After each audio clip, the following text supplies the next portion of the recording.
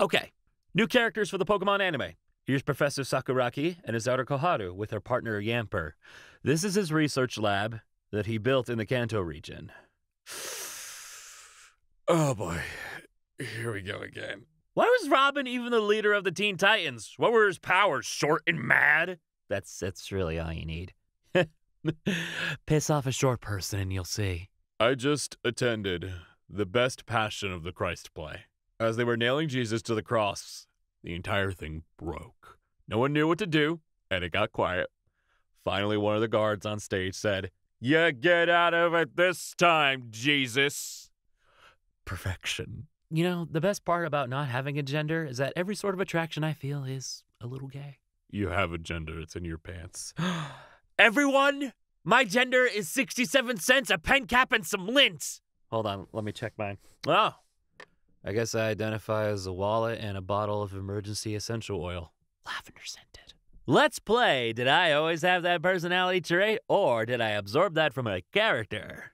Bonus round. Wait one franken second. Isn't that something my friend says and now I'm saying it too? And then there's my favorite. Did I get that from my friend or did they get it from me? And finally, don't forget my personal favorite. I started saying that ironically, and now I say it all the time. God damn you, Yeet.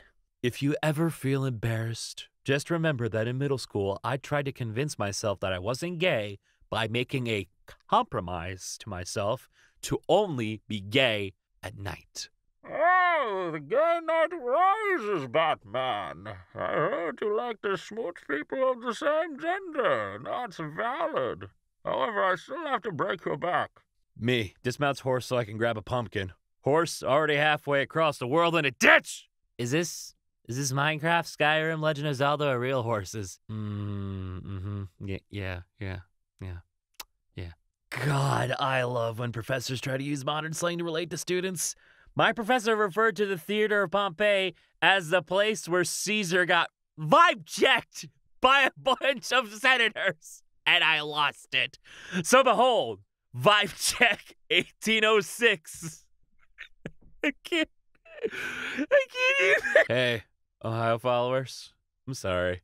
I just rode through your whole state in four hours and saw like three buildings. Hey, LP, where'd you see the buildings? Where, where are the buildings, LP? My mom's in one of them, and I can't find it. Oh, you best be loving yourself. Yeah? What you gonna do about it, huh? Oh, them's hugging words. So, what about a Gen Z vampire who just loves terrorizing people with the newest memes? So, like, imagine you're taking a stroll late at night, and all of a sudden you hear an ear rape version of All Star blast from direction which appears to be the cemetery. The next thing you see is a vampire levitating in a T pose towards you very fast, and then you die. Can someone make this a game for Halloween, please? I'd play it. I'd play the crap out of it for all of you. This reminds me of that time in 2025 when someone pushed down the leaning tower of pizza and SpaceX donated $1.6 million to fix it. OP, are you a time traveler? Oh, oh, sorry. Ignore this post for like a few years. You can Give it time. J- Johnny, Johnny's on his way. I feel that substituting sleep with caffeine is a lot like drinking unicorn blood to stay immortal.